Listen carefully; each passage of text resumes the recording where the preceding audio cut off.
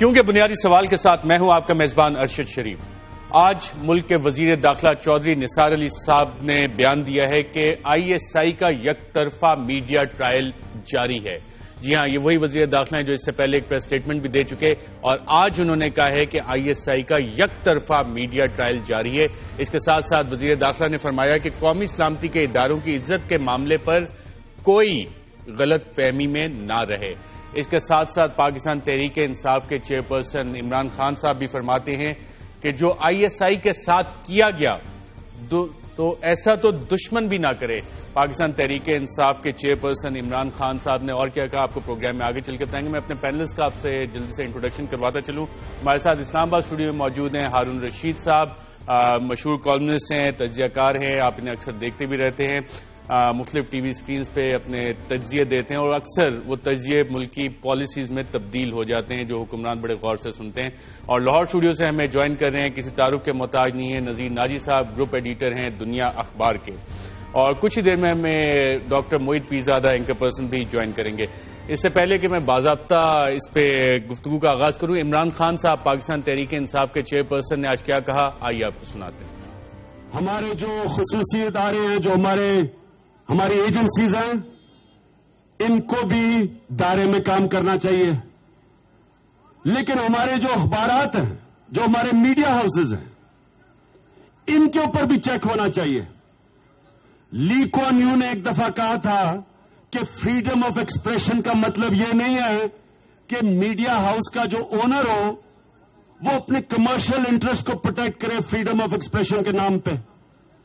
इसलिए पाकिस्तान में भी जो ये मौजूदा हुआ है, जो हमारी फौज के साथ, हमारे आईएसआई के साथ किया गया है, एक तरफ़ जंग में है मुल्क, दूसरी तरफ़ जो जिस तरह आठ घंटे इन्होंने आईएसआई के आईएसआई के चीफ को, और जिस तरह इन्होंने किया उसके साथ, ये तो कोई दुश्मन भी ना करे। इसका यह मतलब नहीं कि हामिद मीर की आड़ लेके कोई अपना एजेंडा पूरा कर रहा हो।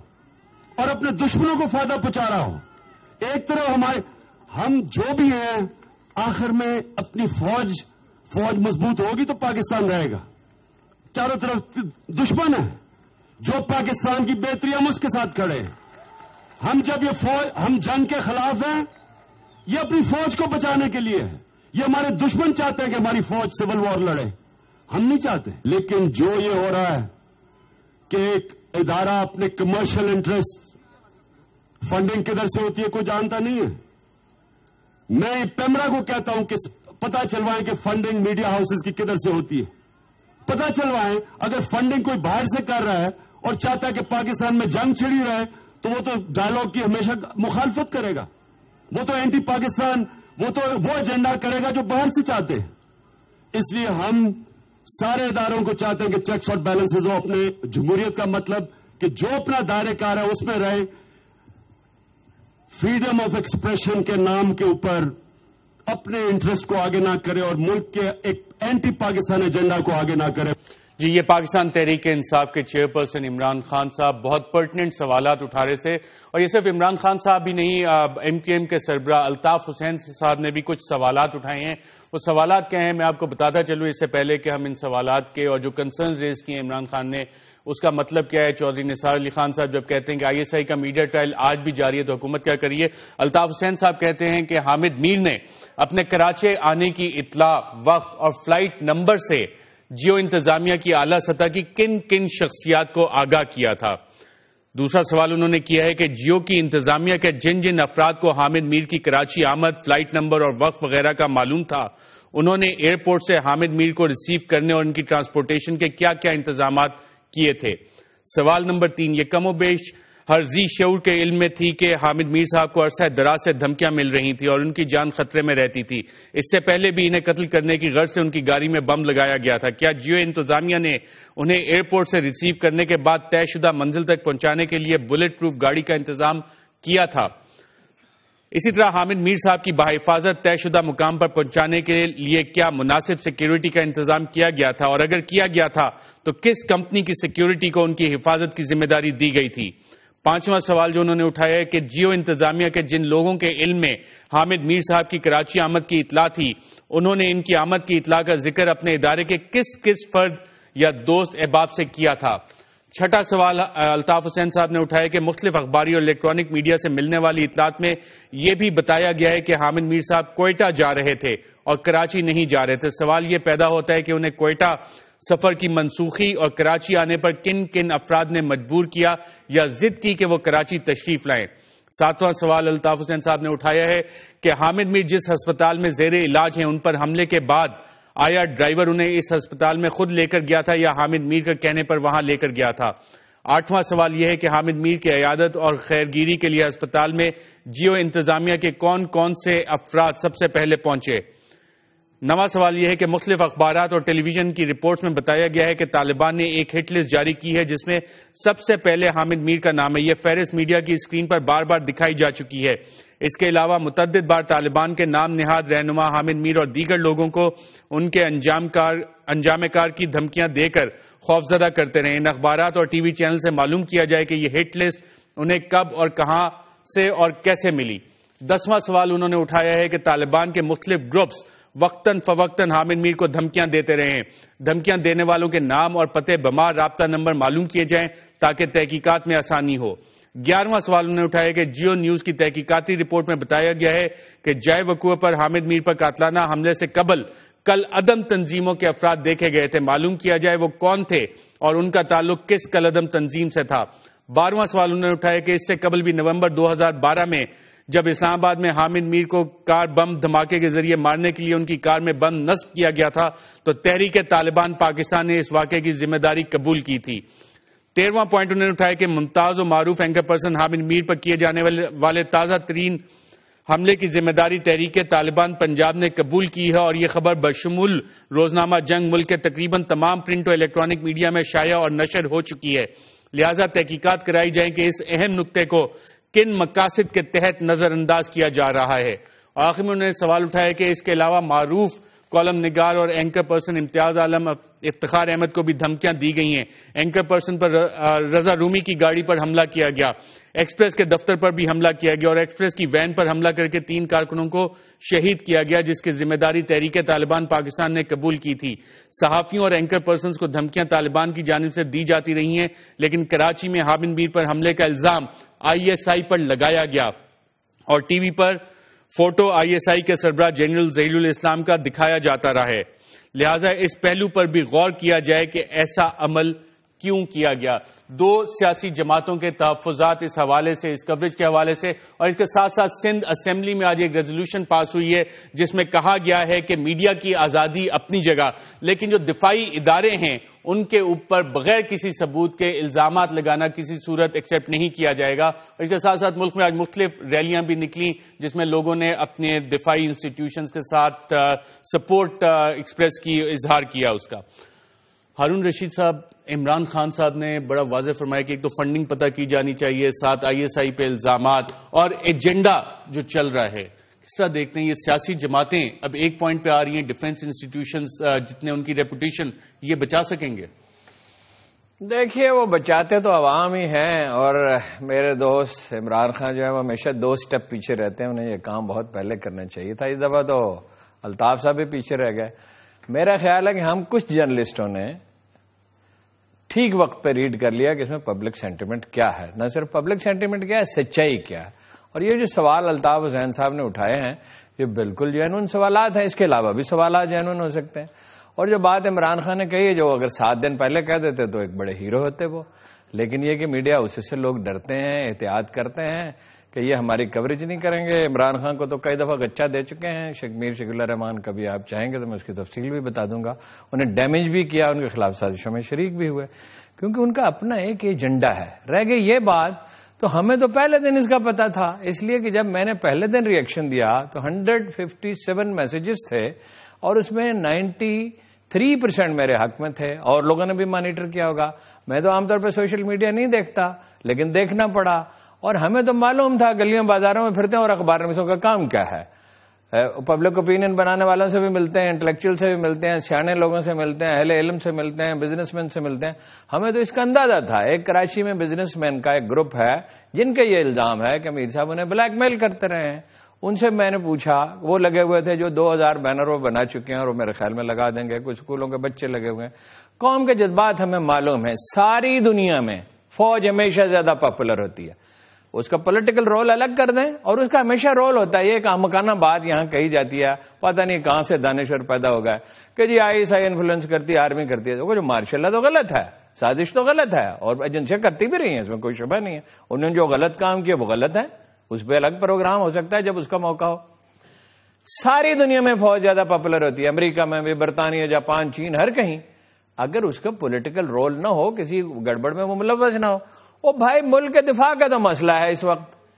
पाँच हज़ार आदमी उनके मर गए, सियाचिन पे वो लड़ रहे हैं। उसमें तो कौम उनके साथ है ना। फिर जनरल राहिल शरीफ जो है, उनके उन पर क्या एतराज़ है?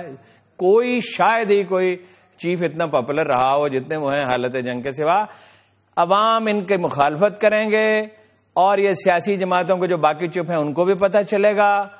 कि ये कोई चारा नहीं है फौज की इसमें हमायत के सिवा क्योंकि उनका काज ठीक है वो कसूरवार नहीं है। उन्हें जो इंडिया जो उन पर इल्ज़ाम लगाता है अमेरिका लगाता है इसराइल लगाता है यूरोपीय अखबार साहब ने भी की कि जो आईएसआई के साथ किया गया ऐसा तो मैं तो अठारह साल उनके साथ रहा ना उन्हें बात हमेशा कोई दो चार हफ़्ते के बाद समझ में नजीर नाजी साहब इमरान खान साहब ये भी कहते हैं कि फॉरन एजेंडा वो भी इसमें नज़र आ रहा है आईएसआई के खिलाफ। और आपने आज एक कॉलम में ज़िक्र किया कि शायद ये इंफरादी फेल जो लोग कह रहे हैं कि नहीं जी, उनका इंफरादी फेल था।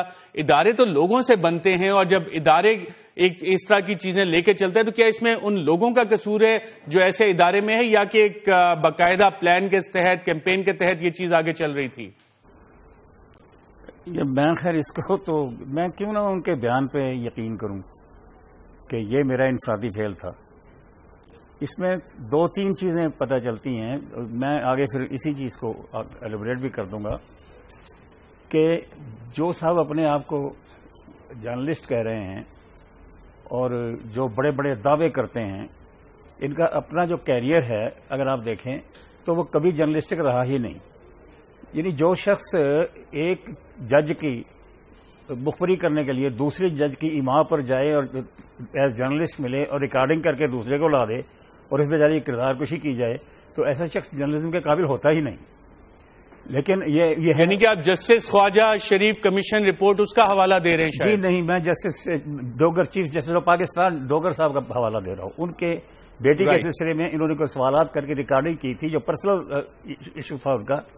और उनको इतबाद में लिया था उसके बाद वो जाके वीडियो दे दी थी किसी को। वो ज़ाहिर है जस्टिस इफ्तार को दी थी। सिंपल। और उसके बाद फिर उनके खिलाफ मुहिम चलाई गई बेचारों के। एक घर में बैठा हुआ शरीफ आदमी। जो कुछ इन्होंने किया हुआ था, वो उन्होंने भी किया हुआ था। जो ओथिलों ने लिए हुए थे, वो उसने भी लिए हुए थे। तो उसमें इनका कोई खास फ़र्क नहीं था। लेकिन मैं देखता ये हूँ कि एक जर्नलिस्ट की हैसियत में कोई आदमी इस तरह का रोल कर सकता है। उसके बाद, जर्नलिस्ट को सबसे पहले ये इल्म होता है कि कौन आदमी किस रुतबे का मालिक है और उसको क्या इज़्ज़त देनी चाहिए। आपने सुना होगा आप ही के हमारे ही चैनल पे गालबन था कि इंटरनेशनल फेम के साइंटिस्ट और उस्ताद जस्टिस डॉक्टर खुराम साहब जरा नाम याद करा दीजिए। ये परवेज हूद भाई डॉक्टर हाँ डॉक्टर परवेज हूद भाई साहब।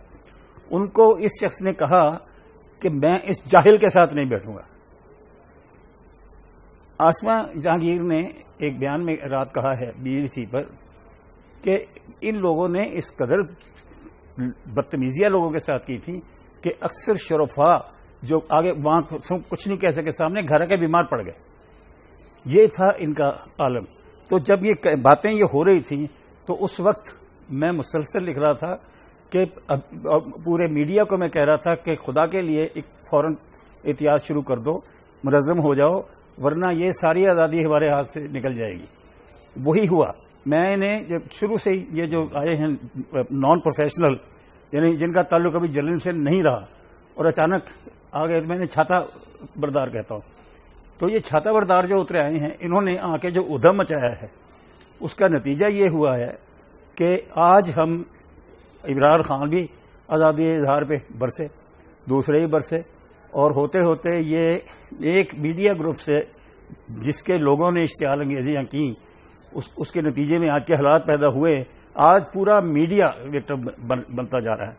हमें इस सूरत हाल को नाजी साहब नाजी साहब मैं आपसे ये भी जानना चाहूँगा आपने इनफरादी लोगों का ज़िक्र किया तो आप कह रहे हैं कि जो ये जो इनफरादी लोग हैं जिनको आप कह रहे हैं कि ये पैराशूट जर्नलिज्म और इस तरह की मुखबरियाँ भी करते रहे justice Khawaja Sharif commission report में भी ऐसे अशास का ज़िक्र है। जस्टिस जोगर वाले केस में आपने उनका ज़िक्र बताया कि उन पर ऑलरेडी क्वेश्चन आए हुए कमीशन उस पर बैठा था। उन्होंने भी आइडेंटिफाई किया हुआ है कि किस तरह की गलत किस्म की खबरें ये चलाते हैं कैंपेन्स करते हैं और जुडिशियल कमीशन की रिपोर्ट है वो बाकायदा, जो कि सामने आई है। इस तरह के लोग फिर एक मीडिया हाउस का एजेंडा हाईजेक कैसे कर सकते हैं? मेरा ख्याल है ये हमारी मीडिया कम्युनिटी को अपने तौर पे सोचना चाहिए एपीएनएस को सोचना चाहिए सीपीएनई को सोचना चाहिए और आप इनके भी एक जो हमारे टीवी स्टेशन है या मीडिया हाउसेज है दूसरे इलेक्ट्रॉनिक मीडिया हाउसेज है इनके भी अपनी एक तंजीम है। इन्हें गौर करना चाहिए इन्हें अगर बचना है तो इन्हें अपने डिफेंस के लिए एक, एक अपने एक्सप्रेशन के लिए अपने इजहार के लिए एक हद मुकर करनी चाहिए जो प्रोफेशनल होनी चाहिए हो और उसके बाद मिलकर तहफ़ करे। इस तरह के जो ये छाता बरदार आते हैं ये एडवेंचरिस्ट आते हैं ये ऐसी हरकतें करके पूरी कम्युनिटी को रसवा करते हैं और फिर पूरे ट्रेड के लिए प्रॉब्लम पैदा करते हैं जो कि अब हो, होने वाली नज़र आ रही है मुझे। राइट डॉक्टर मोहित पीरजादा साहब इमरान खान साहब ने बात की कि जी फॉरेन फंडिंग आ रही है डिफरेंट टीवी चैनल्स को कुछ सहाफियों को भी यकीनन आती होगी। तो ये फॉरेन फंडिंग पेमरा रोक सकेगा और ये फॉरेन ड्रिवन एजेंडा है जिसके तहत आईएसआई को बदनाम किया जा रहा है। चौधरी निसार साहब कहते हैं कि जी आईएसआई के खिलाफ एक तरफा मीडिया ट्रायल जारी है। इमरान खान साहब कहते हैं जो आईएसआई के साथ किया गया ऐसा तो दुश्मन भी ना करे और पेमरा मीडिया हाउसेज की फंडिंग का पता चला है पॉसिबल है चीज़ें ये फॉरेन ड्रिवन एजेंडा कैसे मुझे अरशद ताजुब की लगती है कि इमरान खान साहब ने इस इतने बड़े क्राइसिस पे जो इतना एक बड़ा यहाँ क्राइसिस डेवलप हुआ है पाकिस्तानी सियासत का एक हफ़्ता लग गया इमरान खान साहब को एक वाजे स्टेटमेंट इस पे लेते हुए। मुझे बड़ी परेशानी हुई है साहब बता चुके हैं उन्हें थोड़ी लेट समझ आती है चीज़ें। हाँ मुझे बड़ी परेशानी हम इमरान खान साहब की हमेशा बड़े मदा रहे हैं उनकी तारीफ़ भी करते हैं इल्ज़ाम भी लगता है। लेकिन इमरान खान साहब को पाकिस्तानी पॉलिटिक्स की लगता है समझ ही नहीं आ रही कि यहाँ इतनी बड़ी एक मूव हुई जिसमें प्राइम मिनिस्टर नवाज़ शरीफ साहब एक प्राइवेट टेलीविज़न चैनल के ओनर के साथ जाके खड़े हो गए अपनी ही अफवाज के साथ खड़े हो गए। और मैंने कभी मीर शकील रहमान साहब का आज से पहले नाम नहीं लिया। लेकिन आज मैं पहली दफ़ा लग रहा है कि नवाज़ शरीफ साहब खड़े हुए बिल्कुल बिल्कुल खड़े। देखिए पहली दफ़ा तो पहला दिन है हालाँकि मुबशर लुकमान साहब गुजशत एक बरस से मीर शकील रहमान साहब के ऊपर डायरेक्टली ताबड़तोड़ हमले करते हैं। कई दफ़ा मैं समझता हूँ ज़्यादा कर देते हैं। हम लोगों में से कभी ने हमें इस कन्वेंशन का हमने ख्याल रखा कि एक मीडिया के मालिक का आपने टेलीविज़न के ऊपर या अखबार में या कॉलम में या फेसबुक में सोशल मीडिया में कभी हमने उनका नाम नहीं लिया। हमने हमेशा उनकी इज़्ज़त की। लेकिन इसका यह मतलब है कि वो पाकिस्तान की रियासत के ऊपर चार धड़ एक आखिरकार अमीर शकील रहमान साहब जो हैं, उनकी वही सिचुएशन है, एक टेलीविज़न चैनल के हेड की हैसियत से, जैसे किसी बड़े जनरल स्टोर के किसी मालिक की होती है, जैसे यहाँ पर यह सेंटोर स्टोर है। इसके मालिक की जो सिचुएशन है, अमीर शकील रहमान साहब की जो सिचुएशन है, वो देखिए फाइनेंशियली डिफ़िकल्ट नहीं, वो एक प्राइवेट लिमिटेड कंपनी में बैठे हैं, ये खानदान एक टेलीविज़न चैनल चला रहा है। ये कोई पब्लिक लिस्टेड कंपनी नहीं है, ये कोई इंटरनेशनल कंपनी नहीं है, ये कोई मल्टीनेशनल नहीं है, इसका कोई बोर्ड ऑफ़ इन्वेस्टमेंट नहीं है, इसका कोई प्रॉपर तरीके से कॉन्स्टिट्यूटेड एडिटोरियल बोर्ड नहीं है। ये कहना, यानी ये ड्रामा हो रहा है कि आज़ादी सहाफत की और जर्नलिस्टों की लड़ाई हो रही है। मैं समझ रहा हूँ कि अब हमें डायरेक्टली मीर शकील रहमान साहब से बात करने की ज़रूरत है। ये जो उन्होंने अपने चार, पाँच चेले छंटे छोड़े हुए हैं टेलीविज़न चैनल में, जो जगह जगह जाकर ये कहते हैं कि ये आईएसआई का एजेंट है, फलां आर्मी का एजेंट है, ये बकवास बंद करें। ये सीधी सीधी एक प्राइवेट सेट है जो पाकिस्तान की मिलिट्री एस्टेब्लिशमेंट और अफवाज पाकिस्तान जो कि स्पाइनल कॉर्ड है इस कंट्री का उसके ऊपर आके अटैक कर रहा है और पूरे मुल्क को बेवकूफ़ बनाया जा रहा है। और मैं हैरान हूँ कि इमरान खान साहब को सात दिन लग गए इन चेले चांटों को जिसने आपने बात की उस पर भी बात करेंगे। और बहुत अहम डॉक्टर मोहित पीरजादा साहब ने सवाल उठाया कि मुल्क के वज़ीर आज़म बकौल डॉक्टर मोहित पीरजादा के एक मीडिया हाउस के साथ खड़े हैं। और इसके साथ साथ आगे इस पर क्या चीज़ें बनेंगी, किस तरह से साथ खड़े हैं, और वो मीडिया हाउस उसकी हैसियत डॉक्टर मोहित बिसाद साहब ने बताया कि एक जनरल स्टोर से ज़्यादा की नहीं है, एक प्राइवेट एंटिटी है, और दूसरी तरफ़ एक मुल्क का रियासती फेडरल इंस्टीट्यूट है स्टेट का एक इदारा है, जिसको कि तनहा छोड़ दिया गया। नाजिन, यहाँ पे एक वफ़ा लेते हैं, वफ़े के बाद दोबारा हाजिर होते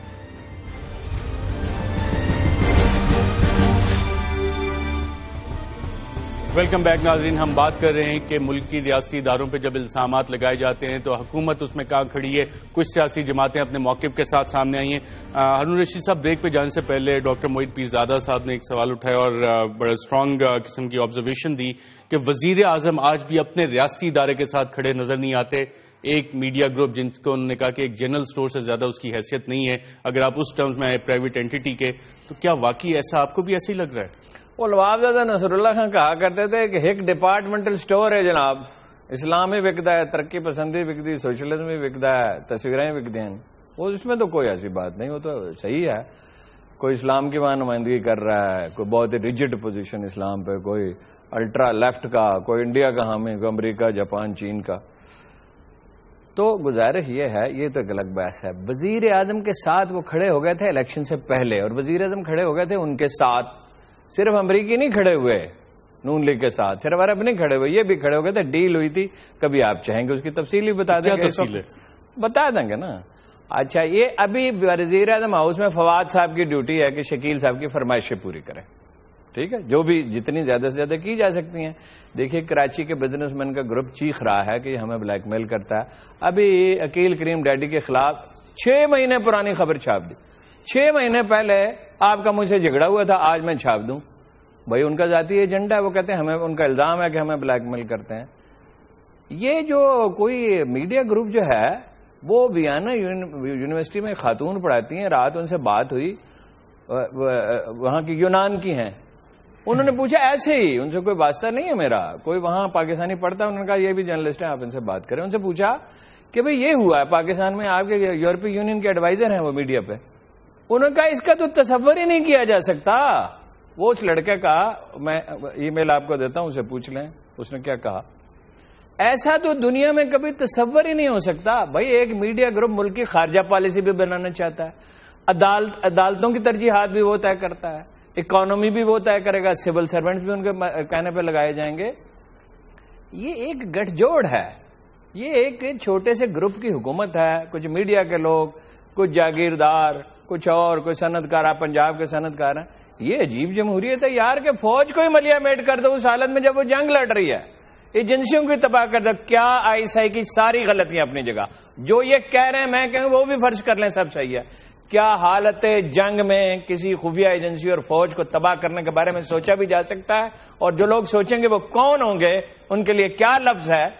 कहीं ये दुनिया में होता है आप अपनी फौज को आईनी तफज तक नहीं दे सकते कि उसकी करेक्टर असेसिनेशन हो रही हो और वज़ीर इतलात उनकी हमायत कर रहा हो। क्या है जी? हम गुलेल वालों के साथ नहीं हैं हम दलील वालों के साथ हैं।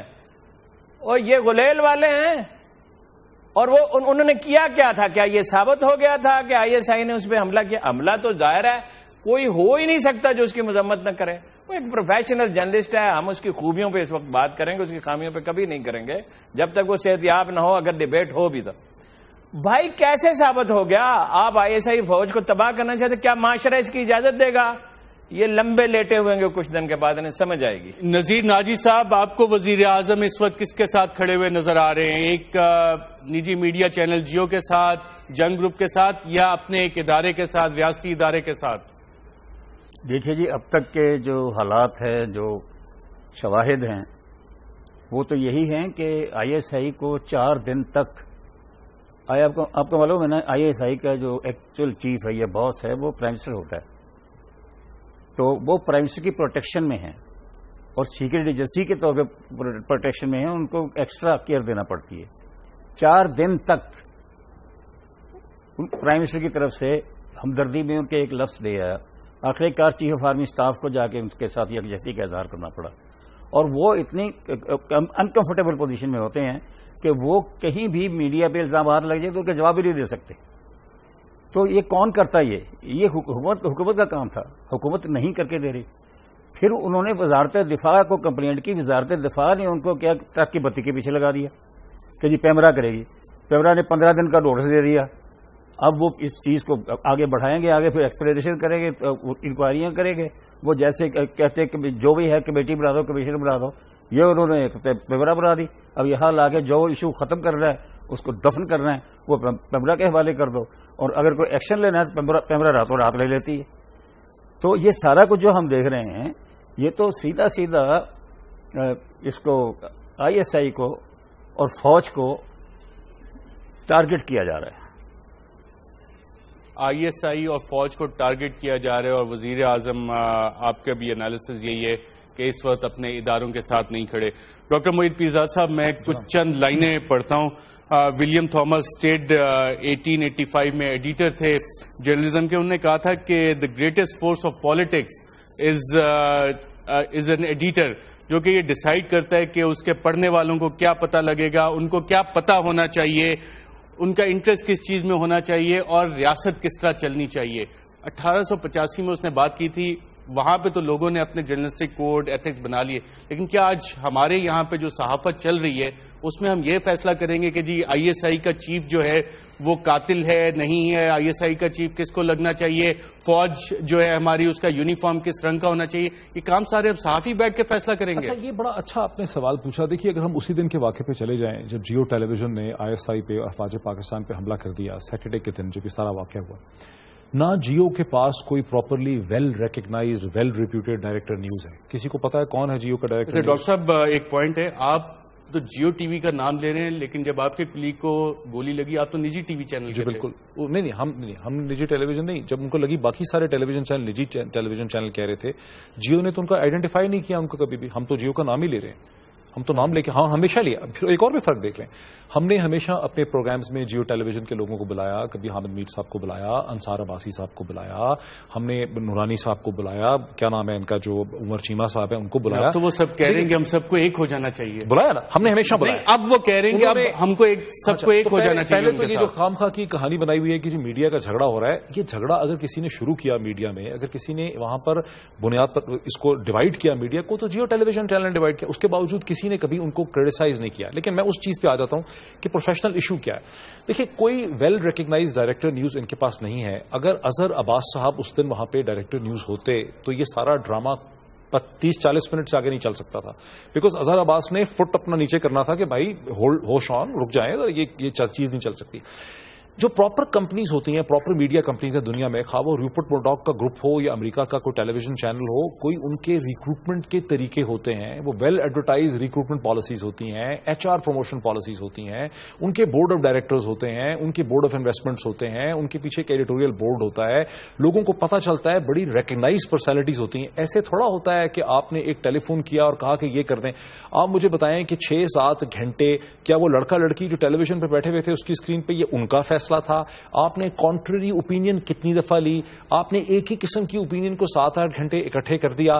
तो ये वो बुनियादी सवाल है अगर वाकई चौधरी निसार साहब ने आज मीडिया से बातचीत करते हुए कहा कि आईएसआई के खिलाफ एक तरफा मीडिया ट्रायल जारी है। यानी कि अभी भी ये सिलसिला चल रहा है बिल्कुल चल रहा है बिल्कुल चल रहा है? जिसमें क्या रोज अखबार के पहले समय पे छपा हुआ यहाँ तक उन्होंने कह दिया कि हम उन्नीस सौ इकहत्तर के वाकत छापेंगे। धमकी देखो किसको दे रहे हैं। नहीं तो भाई मेरी शकील रहमान साहब के और उनके खानदान के लोगों के भी वाकत छपेंगे, आपके भी ये क्या तर्ज गुफ्तगु है? जब राह ने ये मुल्क तोड़ दिया, देखिए पाकिस्तानी फौज की भी गलतियाँ थी, सियासतदानों की गलतियाँ थी, हमारी गलतियाँ थी, मीडिया की गलतियाँ थी।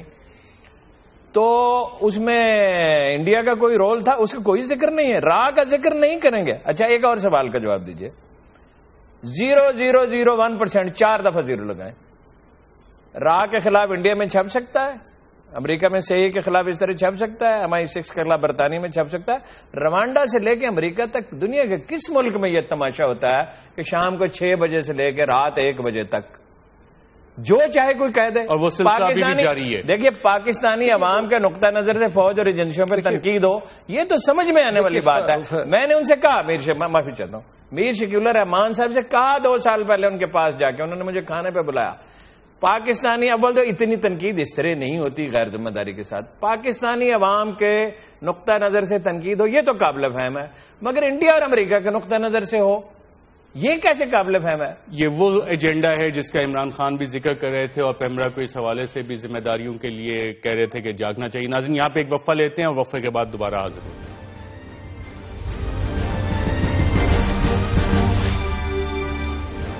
Welcome back. नाजिन मैं आपको ये बताता चलूँ कि हमने कोशिश की थी कि जंग और जियो ग्रिप से कोई हमें इस प्रोग्राम में आके शामिल हो जाए, नुमाइंदगी कर दे उनकी। लेकिन इत्तेफाक से जिनको डॉक्टर मोहित मोहित पिज़ा कहे चेले चांटे उन्होंने जगह जगह भेजे हुए हमारे प्रोग्राम में जंग जियो ग्रुप का कोई रिप्रेजेंटेटिव आने को तैयार नहीं था। ये चेले चांटे आडनो कहाँ पे जा रहे हैं, कौन है ये चेले चांटे जिनकी डॉक्टर मोहित पिजाज साहब बात कर रहे थे। नजीर नाजी साहब, चौधरी निसार अली खान साहब कहते हैं कि आईसी के खिलाफ यकतरफा मीडिया ट्रायल जारी है। जब वो कहते हैं जारी है तो इसका मतलब ये सिलसिला आज भी चल रहा है। तो हुकूमत इस पर क्या कर रही है और ये कैसे चल रहा है यकतरफा मीडिया ट्रायल? हुकूमत की तरफ़ से तो किसी किस्म की हरकत नज़र ही नहीं आ रही। और ये जो इतना बड़ा इशू खड़ा हो गया था उन्नीस तारीख को शायद तो अब तक हुकूमत को इसमें पेश अमली करके कुछ ना कुछ हल निकालना चाहिए था। ये एक मुस्तलसल इश्तियाल अंगेजी का जो अमल जारी है, ये कौन सी हुकूमत है दुनिया में जो इसको टॉलरेट करती है? और सबसे ज़्यादा जो तबाही आएगी, वो तो मीडिया पर आएगी। और हम सारे बेगुनाह लोग मारे जाएँगे इसमें जो प्रोफेशनल्स हैं। ये भी जो हुआ, आपने ज़िक्र किया था कहीं के कोड ऑफ़ एथिक्स का। कोड ऑफ़ एथिक्स का यह है कि मैंने ये बहुत अर्सा पहले कहा था कि न्यूज़ चैनल्स में जर्नलिस्ट ही को आना चाहिए। अगर उसकी जर्नलिस्टिक बैकग्राउंड नहीं है तो वो इतना बड़ा बोझ नहीं उठा सकता इतने बड़े एक्सपोजर की। उसका रीजन है कि उसके पीछे एक ट्रेनिंग होती है। एक जो प्रिंट मीडिया है इसकी सौ साल से ज़्यादा पुरानी ट्रेडिशन है। इसमें रवायात हैं। हम जब आते थे हम, हमारे सामने बैठे होते थे को तीस साल का तजर्बेकार उस्ताद को पचास साल का तजर्बेकार उस्ताद। तो ट्रैवल करती करती एक स्किल थी जो डेवलप होती होती वो प्रिंट मीडिया में आ, आ गई आगे। यहाँ पर एक तो ट्रेनिंग कोई लेने कहीं नहीं गया। अचानक आया अचानक मशीनरी आ गई लेकिन मशीनरी पे पैसे खर्च कर दिए ट्रेनिंग पे नहीं किए। तो रवैया ये जो जिसके हाथ आया उन्होंने कैमरा लेके बैठ गया कुछ कुर्सी लेके बैठ गया। और उन्होंने अजीब उधम मचा दिया नाजी साहब मेरी उर्दू माशाल्लाह इतनी अच्छी तो नहीं है जितनी आपकी है। उसमें कोई बंदर और उस्तरे का भी ज़िक्र होता है वही हालात तो नहीं है कुछ? वही हालात है। बस अब इसके क्या बिल्कुल वही है। आप, आप मुख्तलिफ़ एंकर्स को देखिए जी जो जिस जो जिसका पस मंजर नहीं है प्रिंट मीडिया का। उसकी आप बातें सुने। आपको कई बार तो आपको हँसी रोकना मुश्किल हो जाएगी।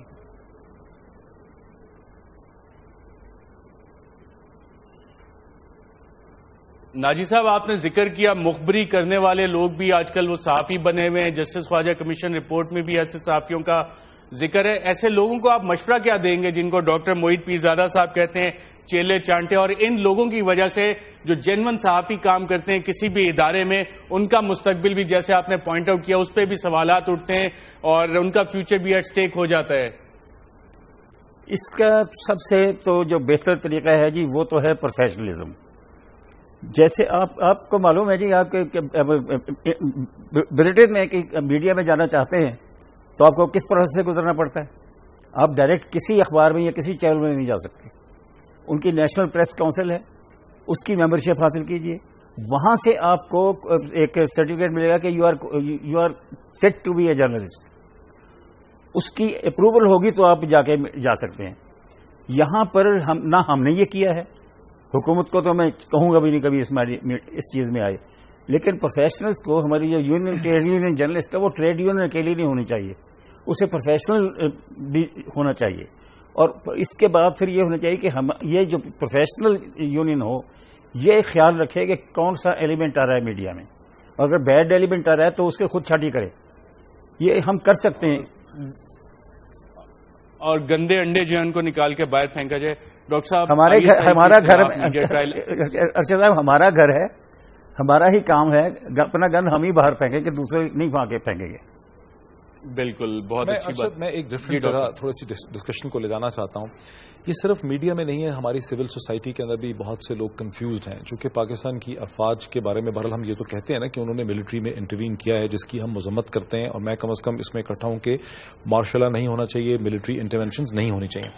चूँकि फौज की इंटरवेंशन रही है उनका एक पॉलिटिकल रोल रहा है इसलिए लोगों का एक नीजर्क रिएक्शन भी बहुत पढ़े लिखे इंटेलेक्चुअल्स का दानश्वरों का सिविल सोसाइटी का उसमें होता है। लेकिन यहाँ पर मीर शकील रहमान साहब और उनके चेले छांटे जो हैं, वो उस जेनवन नी जर्क रिएक्शन के नीवे नीवे उसका फ़ायदा उठा के, जैसे इमरान खान साहब ने कहा ना कि हामिद मीर साहब के साथ जो एक ज़्यादा हुई, जो जुल्म हुआ, जो एक ट्रेजेडी वहाँ पर हुई, हामिद मीर साहब का और आमिर मीर साहब की जो स्टेटमेंट्स हैं, जो कोई उनके जज्बात हैं, उनका नाजायज फ़ायदा उठाते हुए कैपिटलिस्टिक ग्रुप जो है, एक सेठ जो है, एक जो सरमायादार है, वो उसका फ़ायदा उठाते हुए अपने सियासी मकासद जो है वो हासिल करने की कोशिश कर रहा है। पाकिस्तान की सिविल सोसाइटी को समझने की ज़रूरत है, उनको डायसेक्शन करने की ज़रूरत है कि इस वक्त पाकिस्तान की सियासत में किस किस्म की कशमकश हो रही है, जहाँ प्राइम मिनिस्टर नवाज़ शरीफ साहब ने, जो इस वक्त सबसे बड़े सियासी प्लेयर हैं, उन्होंने एक प्राइवेट टेलीविज़न चैनल के मालिक के साथ अपने आप को अलाय कर लिया है, जो अलायंस उनका 2007 और 8 से मुसलसल मतवातर जारी है और जो पाकिस्तानी सियासत पे असरअंदाज हो रहा है ये वो रियल सवाल है असल सवाल है जिसे हमें उठाना चाहिए। और अगर हम दर हकीकत अब एक जमहूरी माशरा बन चुके हैं